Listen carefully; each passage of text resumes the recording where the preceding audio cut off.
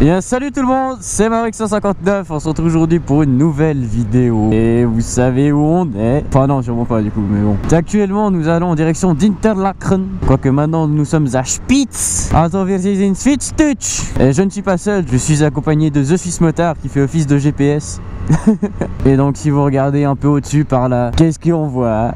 On voit des montagnes et là aussi d'ailleurs. Alors aujourd'hui gros projet de balade dans les Alpes. Donc gros projet de balade et moi ça me permettre de faire un petit repérage vu que je risque de revenir ici la semaine prochaine, le week-end prochain. Donc vous l'aurez sûrement compris, on va faire une grosse grosse balade dans les Alpes. Normalement, on aura plus de 4 heures de belle route. Et même en allant à ces 4 heures de belle route, on a déjà eu, je pense, ouais, on a déjà eu 2 heures de magnifique route, de route magnifique, magnifique route. Bref, et donc, on va faire un petit edit là-dessus. À tout tout le monde. Bon, euh, mauvaise nouvelle. non, bonne nouvelle déjà. Regardez-moi ces montagnes. Regardez-moi ça. Euh, mauvaise nouvelle, il y avait un panneau d'annonce euh, au niveau des cols pour dire lesquels sont ouverts, lesquels sont fermés. Et le col le plus magnifique au monde, enfin le plus magnifique de Suisse déjà, apparemment il est fermé.